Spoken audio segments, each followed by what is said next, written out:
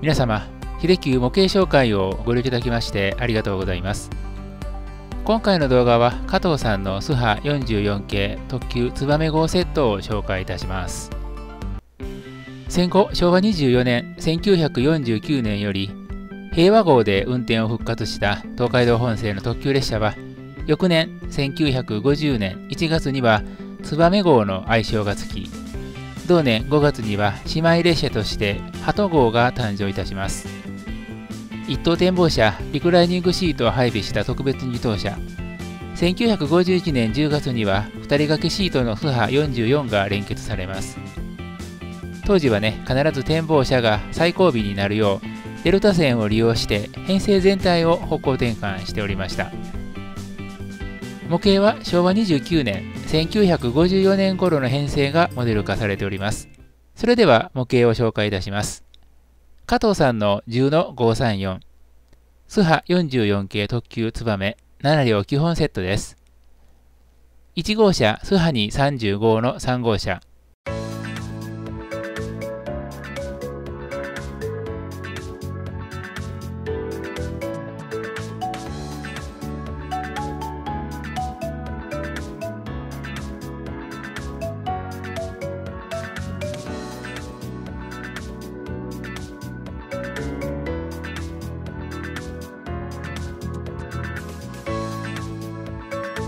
2号車スハ44の1号車。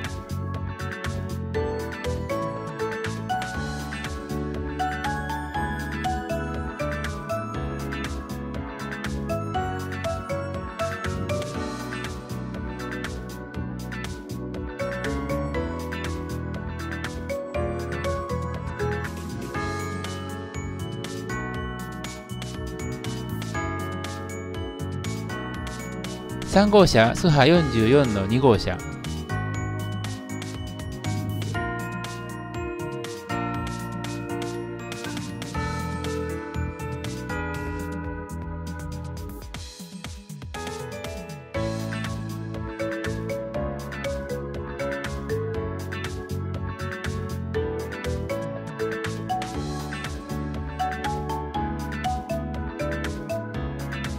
7号車、マシ35の3号車。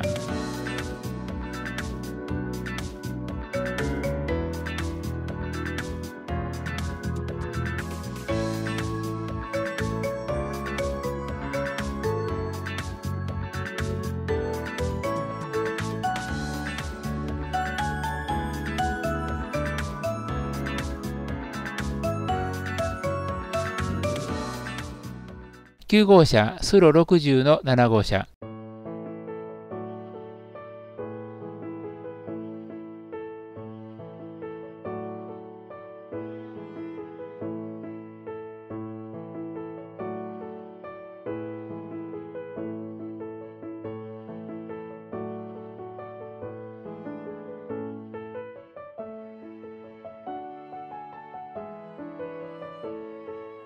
10号車、スロ60の5号車。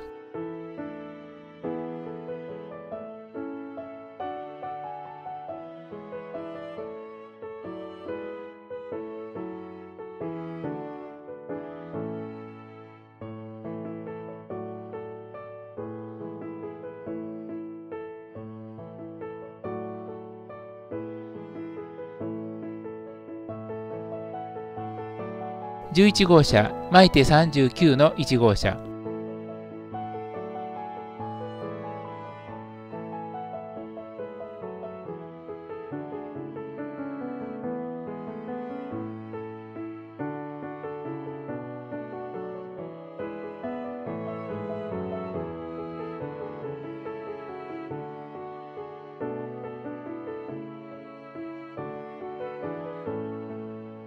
本来ですとね、10の535、スハ44系特急ツバメ6両増結セットを連結して13両編成に仕上げるべきなんですがね、長い間基本セットしか保有しておらず、この動画を撮影するにあたって増結セットを探したんですけども、まあね、結構購入するのが困難やったんで、別途販売されていた10の1660、スハ44系特急ハト6両増結セットで編成を組みました。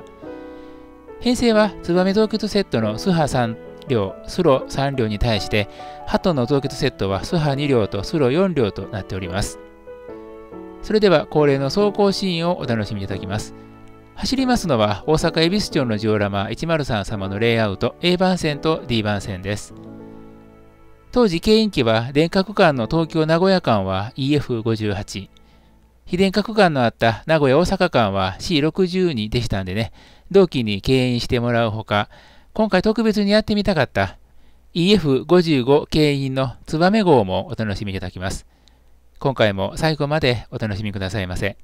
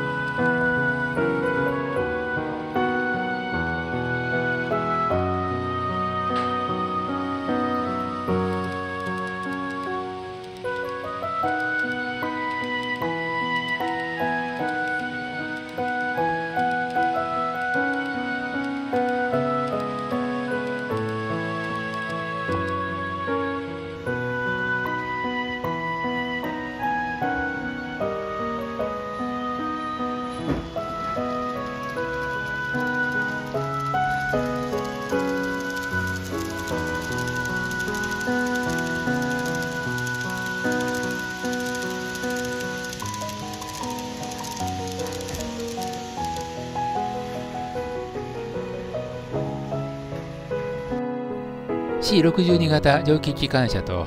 44系巻いて49のセットという客レツバメの編成は加藤さんで古くからモデル化されておりました当時からね造形のクオリティは高かったんですけども C62 はオーバースケールでヘッドライトは点灯せず展望車巻いて49のテールライトも点灯しませんでしたまあね構造上まず点灯させるのは不可能かと思っておりましたが模型の技術は格段に進み点灯可能となりました本当にね、鉄道模型っていい趣味ですよね。皆様、ぜひチャンネル登録と高評価をお願いいたします。本動画もご視聴いただきましてありがとうございました。